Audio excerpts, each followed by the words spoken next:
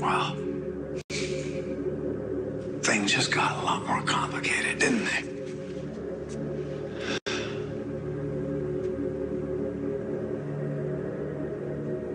Barry Allen. Which Barry Clearly, you're from a lot later than this one. Way later. Way Who's your friend? Let me guess. Jesse Chambers. No?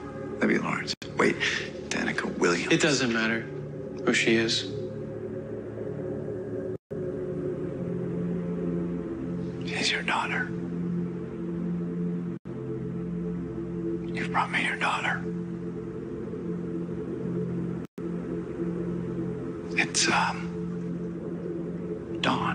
if I'm not mistaken. Nora.